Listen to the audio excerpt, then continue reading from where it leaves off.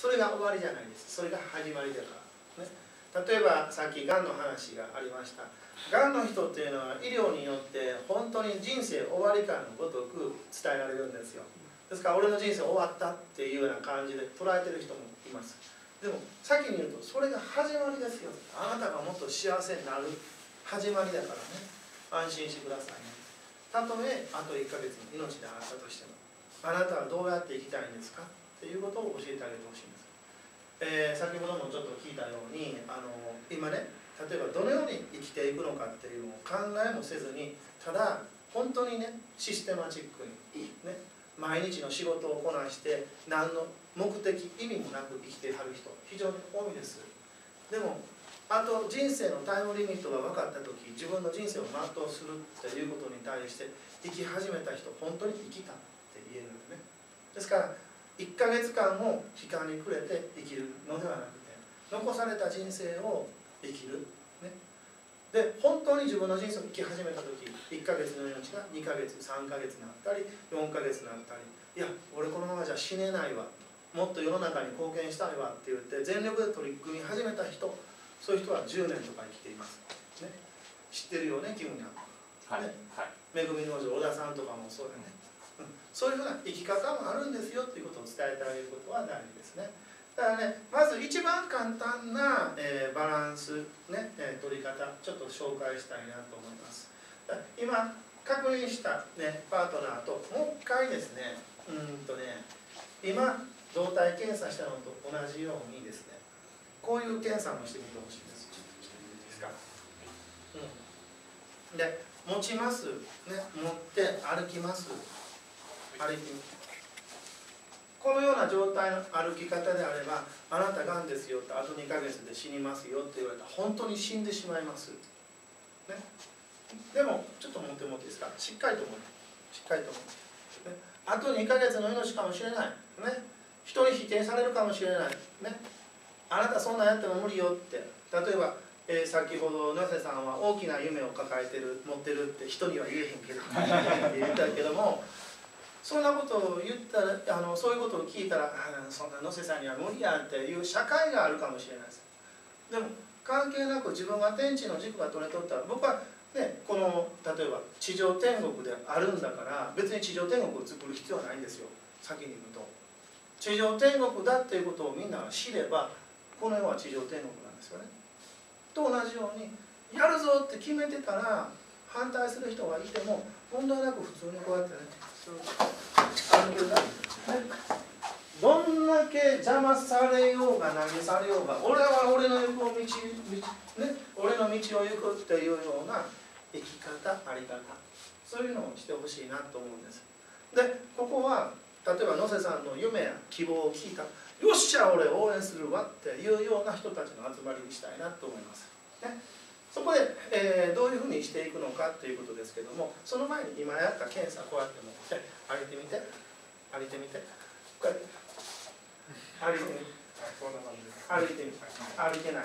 ね。で歩けるか歩けないかっていうのを確認してみてほしいんです。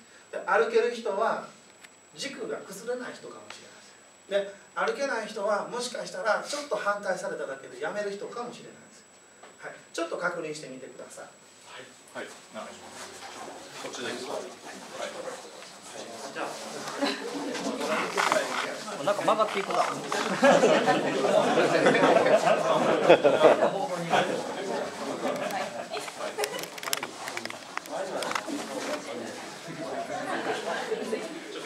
倒れますから。で、倒れない方向、ね、どうやったらいいの天地との融合なんですよね。だそこで天地の融合を取るのこうやってね、手を振る、まずこれ。で横の人と当たらんように、えー、っとね、一応前後に分かれてこう丸くなってほしいんですね。こうやって僕がちょっと一人一人回っていきますから手振るっていうのはどういう感じで振るのかっていうやりますね。手振るのは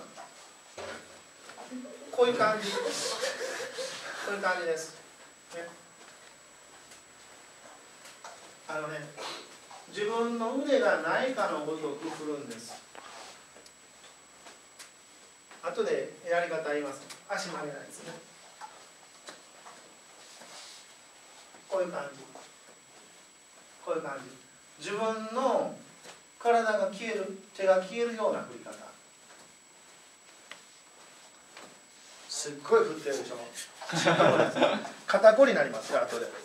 こうでしょ。こうでしょ。もう少し一歩前に。僕に持たれた手なんか感覚ないでしょ、うん、ない状態。だからねこのね腕振ってるだけでね肩こりする人もいるんです。それは何か間違ってるかもしれません。肩こるんではなくて感覚が消えるような振り方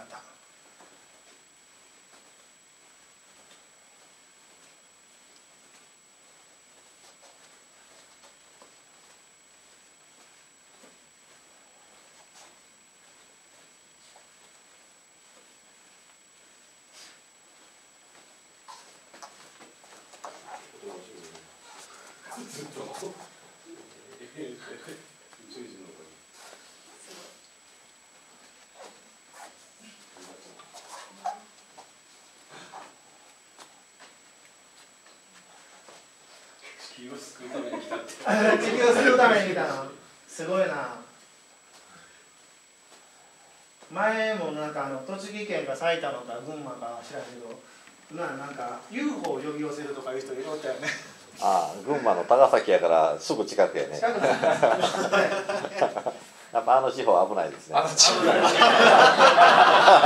あそうなんですねなんか UFO の写真いっぱい持ってきてたんですがでえー、っとねじゃあね今の段階でパートナーの人に手をこうやって持ってもらってください。はい。パートナーの人に手を持ってもらいます。ね。はい。でこれで動かしてみてください。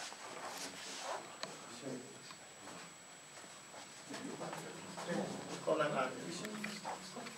こんな感じ。でもなんか止められて似てます。じゃないこんな感じじゃあ白こんな感じパシッとあの止めてくださいこんな感じです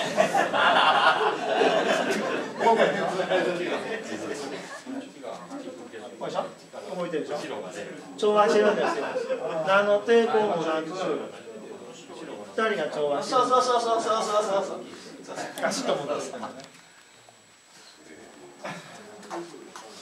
何の抵抗もなくあ力入れてるのはそうガシッと持ってね先生が握ってるエネルギーが残ってないました。切れちゃうと OK ですガシッと持ってガシッとガシッといい感じではいじゃあこっち見てほしいんです、ね、はい、ね、で今手振りましたガシッと持ってるね持たれたのにも触れるっていう状態は何かっていうと相手と調和してるんです、ね、人と調和している状態そして自然と調和している状態天地と調和している状態、ね、でガシッと持たれて動かない、ね。えー天地との調和ない状態ですね。ね。で人とも調和がない状態。ですからその状態で自分はこれをやりたいぞっていうふうに言ったとしても周りは反対するでしょう、ね、調和してないから、ね、あんたには無理よって言われるかもしれないです、ね、なんぼ信念があって自分はこれで行くぞ馬力で持っていたとしてもいつか朽ち果てます、ね、倒れてしまいます。倒れたらその夢すら叶えられなくなります。でそこで大事なことなんです。天地との調を測ることですね。じゃあどうやっていったらいいのかってね。これはテクニック部分なんで頭で覚えないでください、ねえー実践の上で覚えてほしいんですけども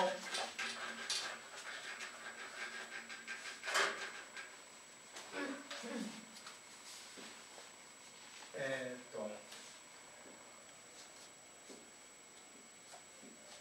あこうやって手がありますねで手をこうやって振るわけですけどもただね振り子のように振るだけじゃないんですこれ振り子のように振るだけじゃないんです、うん、これでは、えー筋肉は凝り固まって肩こりになったりとかするでしょう実際にただ振り子のように振ってみてください。振り子のように。ね。で振り子のように振って隣の人に手を持ってもらってください。触れなくなります。触れないでしょ。ぶつかるでしょ。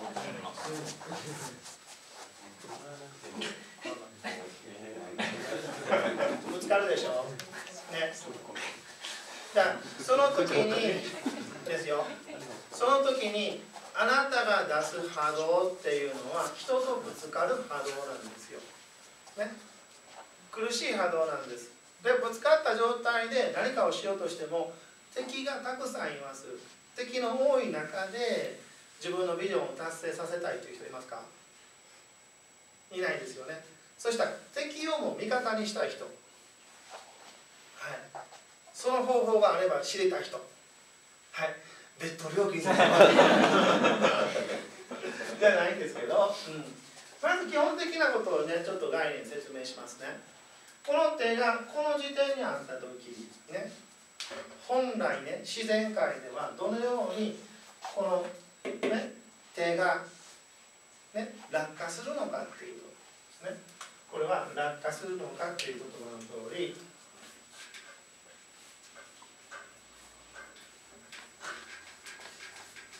ちょっと待っ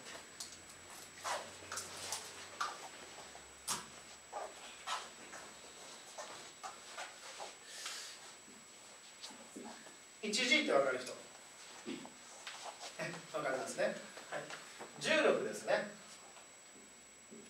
真下に落ちるんですよ本来は。ですから絶対にこの手はこういうふうにいくはずはないっていうことが理解できる人。これは自然法則ですね。理解できるのにかかわらずみんなはこうやって動かしてるんですよ、ね、それちょっと感じてみて。みんなパートナーにこの状態から、ね、この状態からパートナーに持ってもらって。はい。それを前に移動させてみて。前に移動させてみて。出しと前に移動させてみて、うん、はい。苦しいね交代してみて。ね。いかないよね。ね。ね。自然法則に反した動きをしようと思ったら制御するっていう力が加わります、ね、例えばねえー、溺れるもの久しからずっていう言葉知ってる人、ね、例えばインターネットでねあのー、一時もう今は少なくなったと思うけど人を騙してでも一時だけ稼げばいいっていう輩がいっぱい出た時代がありましたね。特にアフィリエイトとかあった時代。そういう時代今名前を残してる人ってわずか1%もいないと思います。その時に一時稼いだけどもね今消え去った人たちいっぱいいますよ。仕事辞めてまでインターネットで商売やっていこうっていう人たちみんな失業してますよ。なぜ？自然法則に反してるんです。人を騙すことなかれですね。で大事なことですけども自然法則は 1G っていう重力がかかってますのでこの方向にはいかないんです、うん、ところが 1G 直接この手がこの手こっちの方向落ちるはずはないですよね。ね？落ちないですよね。これ分かる人？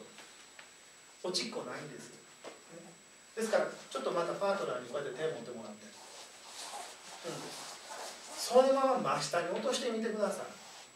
落ちないです落ちないです。ね真下には落ちない。です ね？後ろでやってるなこれは実は一つ言うとねあのここに型がありますので、ね、一時は下に落ちるんですけども次前方に行こうとするんです、ね、これ理解できる人。なんでかっていうとここに腕がありますので、ね、これ以上下に行こうっていうことはこの腕がビヨーンって怪物くんのように伸びるわけですよね。この中に怪物くんっていうのはおらへんでしょ。ですからこれはありえないんです。で次にですねこの法則を一つ、えー、理解していただきたい。ここは始まりではないんです。始まりではなくて継続した形なんです。というのは前から後ろに来た。次にここに来てます。だから次ですね。逆に言ったら前から後ろで説明しますね。ね野口ちゃん、ね、普通このつながりがなかった場合ですね。こっちからこういったら。それで声を 前前にこうじゃないドッジボールしにく。い。ねわかる？前に飛んでいくんです。もちろんこれはこうやったら後ろに飛んでいきます。ね。つながりがなかったら。ありがとうございます。ね。飛んでいきます。つまりこれは前から来たら放物線を描いて後ろに行こうとします、後ろに描いてでここで腕があってつながってますから次はどうなる？ある一定の長さ、ね、腕もそうでしょ？これ力入れてたらこうね見ててね。力入れたらこのぐらい、ね、力抜けてたら、ね、これがこうやって放物線上で力抜けてたらこう。長さこんなに変わるわけですよ、ね、大体肩こりの人腰痛にしても何でもそうですけど力入ってるわけですよ、ね、パンチでもどうでしょうかこれ、ね、力入れてパンチしたらこんだけしかいかないです、ね、力抜いてパンチしたらここまでいくわかります？ですから力入れたパンチって効かないですよね。ね？ちょっと気分ここに切ってみて。こうやって手手こうやって。力入れてパンチしたら効かないんです力抜いてするから向こう飛ぶわけでしょ？ね？ですから力抜いてたらここが伸びるっていうのも理解できますか？理解できるっていう人。OK じゃあ伸びきったところまでは伸びるけども怪物組んでないから野口ちゃんのとこまで伸びないです、ね、僕の手で言うたらこここが力入れた状態、ね、そして肩こりの人の力を抜いてあげたら肩こり取れるんです、ね、ですからこうねあの怒り型になった人をね力抜いてあげたらなめ型になりますよね。で肩こりの人手上げてもうたらこんな短いです。肩こりなくしてあげて手上げ上げても伸ばしてもうたら伸びます、ね、である一定の長さまで伸びたら後ろからじゃあ前から後ろに行って今度どうなるか G がかかるんです。1G 下に落ちようとします。ところがこの長さがありますから今度戻ります、ね、戻って今度前に出ていこうとするんです。前に出ていこうとして今度ある 1G が加わった時に下に落ちようとします。ところがある一定の長さもうそれ以上伸びないところで来たらドラが加速度をつけてここ加速度ついて後ろに帰ってきます。この形もう少しきれいな形にすると何の形？無限の形。限りがない状態。限りがないなくなるんです、ね、なくなるからこそはいちゃんもこれちょっと持ってみて。片手で。で限りがないから動くようになってくるわけです。わかります？ぶつからないんです。ね？でそこでちょっとやりましょう。みんなパートナーにこうやって後ろで持ってもらって。ね。本当は自然に行くのが一番いいですけども一回ねちょっとね肩をね伸ばしてみてください、はい、そのまま下に落として前に来てください。来ますね。ね。ね。もう一回いきます。こうやって。力みを持って。力みを持って、ね、腕の長さが同じ状態で前にやってみてください。いかない。何も力入れてもいかないですよ。無理なんです。苦しいんです。ね。苦しい状態で例えばね。ね。治療の方もいっぱい来ますよね。施設に。ね。で施設に来て治療の方が一生懸命こう力抜く治療してますよね。力入れてる状態では全然良くならないってこの間ね言ってたよね、うん。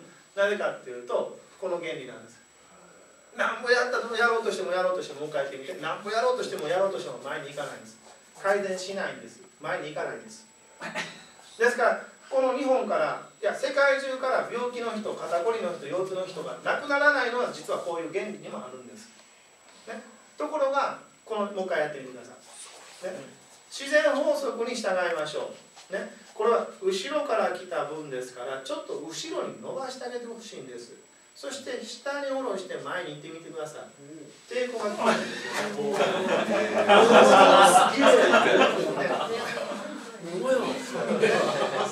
自然法則ですよこれが、ね、自然法則を理解せずに何とかしようとしてもこれは無理は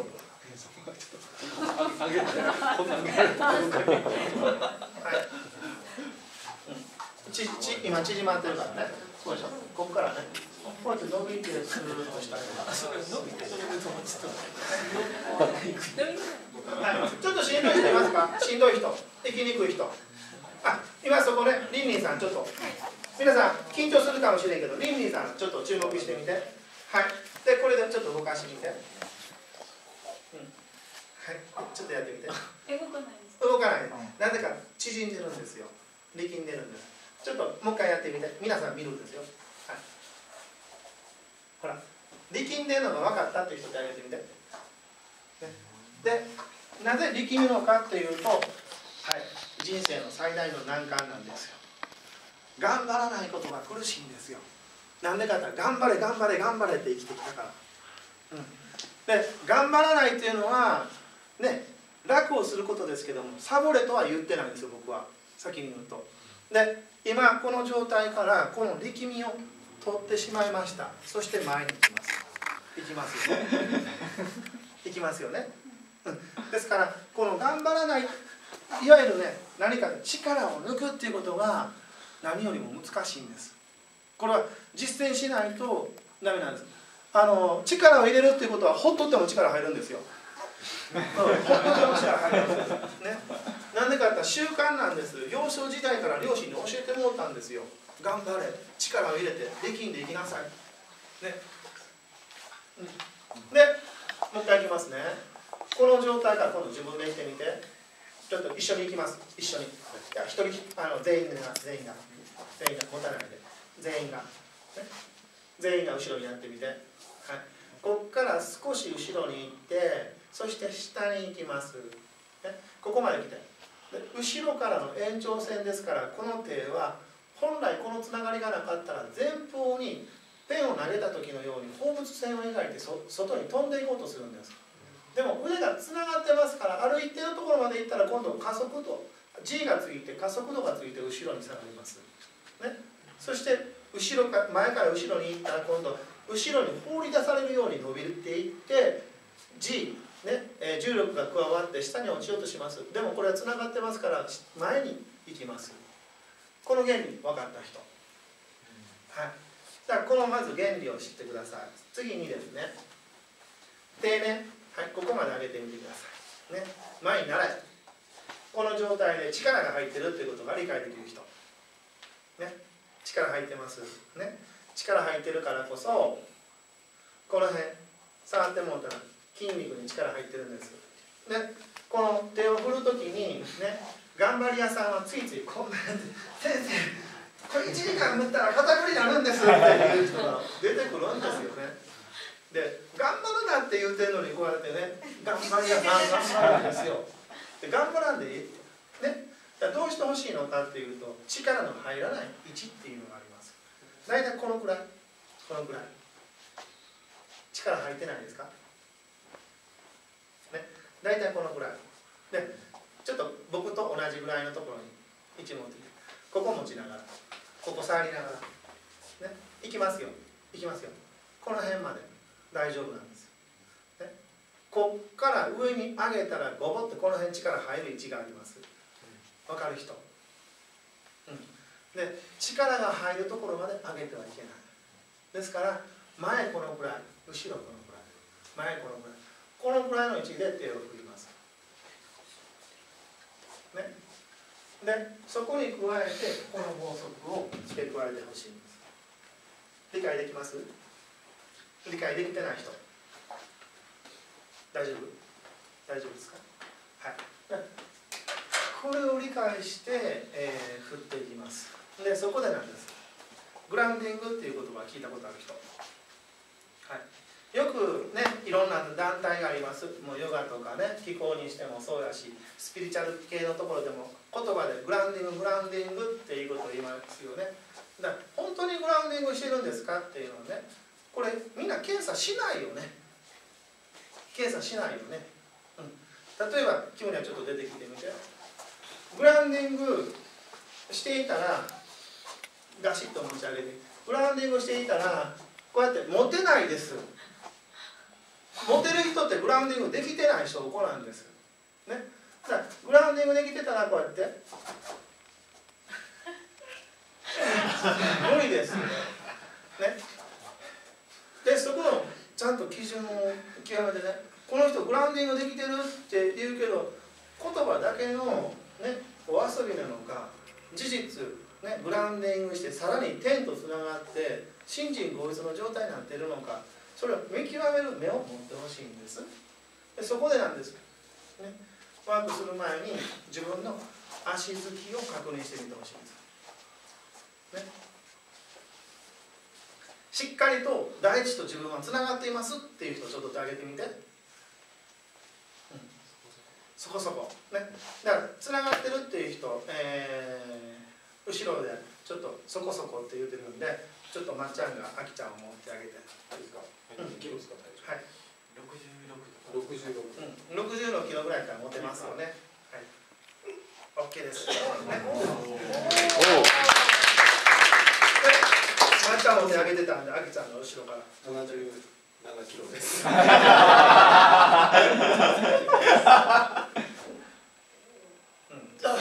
からですね。はい。で、ティーガさんがね、上げてたんで、シレちゃんがティーガさんと行って、持ち上げてみて。はい。うん。おお他の人グラウンディングできてなかったら、あの今のね、足づきを理解しておいてほしいんです。もう今持つことはしませんので。で、足づきを理解しておいて、で、今からちょっとワークします。ただ手振るだけです。こうやって。ね、手振るだけ。今、ね、えー僕が一人一人ではないんだけど、ある程度の人、えー持ちに行ったんですよね。手持ちに行った時に自分の手の感覚が消えるっていうのを体験されたと思うんです。でそのような振り方。それはこのような振り方になってきます。ですからちょっとまた回していきます。一歩前に来てはいこうやってこういう振り方いわゆるね自分の手が消えるんです。楽でしょ？右手を持ってね。ですから愛ちゃんは左手。ね。宇宙人は右手。どうですかどうですか？右手なんか変でしょ？それがあなたの手なんです。変な方が私の手なんですよ。おかしいでしょ？ですからこの感覚を継続させてほしいんです。僕の持ってるけどこのままでも戻ってない。大丈夫。戻さないでね。で後ろへ。この感覚。持たれたでちょっと